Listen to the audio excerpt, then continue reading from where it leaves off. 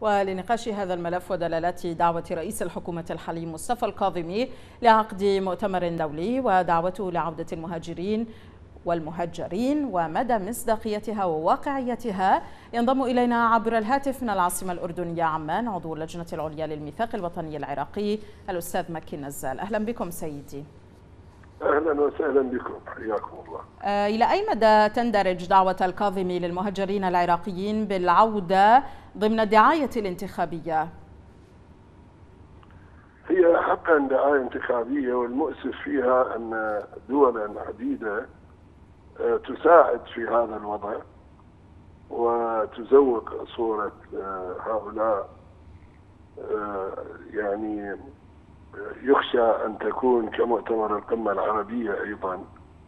حين اعتقل آلاف الشباب بحجة المؤتمر القضية أوسع وأكبر من مؤتمر مجرد مؤتمر يعقد. ويفتقر طبعا إلى الجدية أكيد لأنه وضع سيء للغاية. في العراق ويتم تزويقه كما قلنا. نعم. ولا يمكن اعتباره وتصنيفه غير أنه دعاية انتخابية لرجل فقد مصداقيته. بالتزامن مع هذه الدعوة هناك هجرة عكسية من المناطق بسبب السلاح المنفلت واستمرار الاغتيالات أيضا. ما مدى إمكانية عودة المسيحيين وواقعية مثل هذا الطرح في ظل سيطرة الميليشيات على ممتلكات المواطنين؟ يعني عودة المسيحيين تقترن كما تفضلتم بالأمن بالخدمات وأهم شيء هو الأمن الأمن مفقود والخدمات مفقودة من من شاء أن يعيد المسيحيين يعرف ماذا يفعل فليعد الخدمات وليعد الأمن وبذلك يعود المسيحيون. عدا ذلك هو هواء في شبك. إذا كان الكاظمي وحكومته غير قادرين على إرجاع المهاجرين في جرف الصخر وغيرها كيف يمكنهم توفير بيئة آمنة للمهاجرين من خارج العراق سواء المسيحيين أو غيرهم؟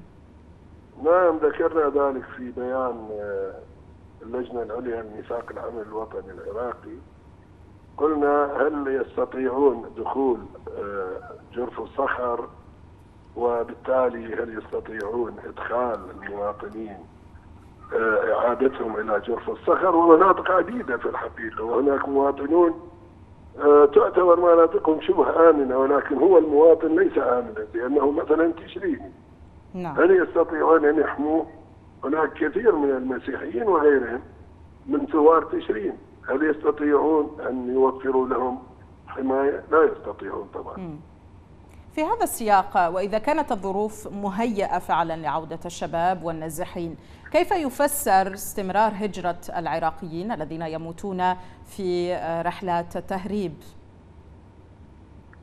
والعراقيون الذين يموتون في رحلات التهريب مثال أيضا على ذلك. هؤلاء يعني هربوا من هذا الواقع الذي يتم تزويقه ولا يستطيعون طبعا العودة إلى العراق فيضطرون إلى ركوب الزوارق يعني الهالكة والمتهالكة.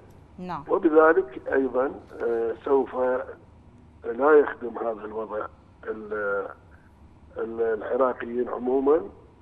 هنا كل هذه الظروف والعوامل تؤيد أن المؤتمر مؤتمر فاشل ولا يمكن التعويل عليه ابدا.